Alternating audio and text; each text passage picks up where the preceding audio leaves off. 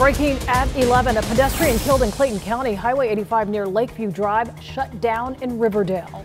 Yeah, let's take a look at this uh, situation here. And you can see the area on the map here where the pedestrian was killed. Law enforcement says it's going to stay closed for a few more hours. Jamie Kennedy is there live now. Jamie, what have you learned?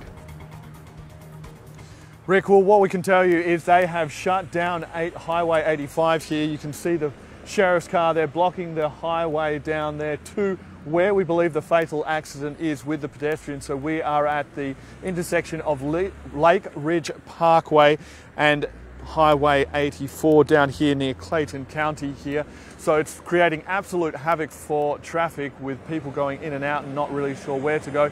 But uh, unfortunately, this is where a fatal pedestrian is that the police are working. We're still working to get the finite details of exactly what's happening down here, but this has only just happened within the last hour, so we're going to stay on top of this and you can find out exactly what happened.